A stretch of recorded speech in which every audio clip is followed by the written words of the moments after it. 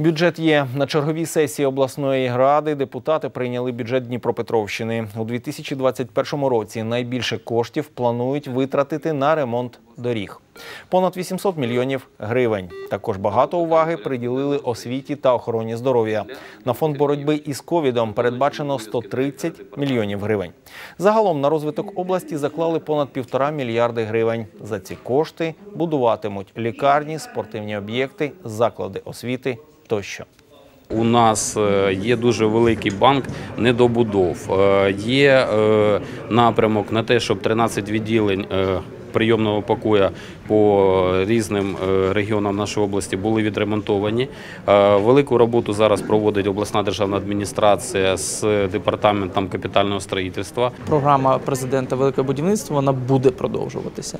Також будуть е, продовжені ремонти місцевих доріг, також будуть продовжені ремонти водоводів.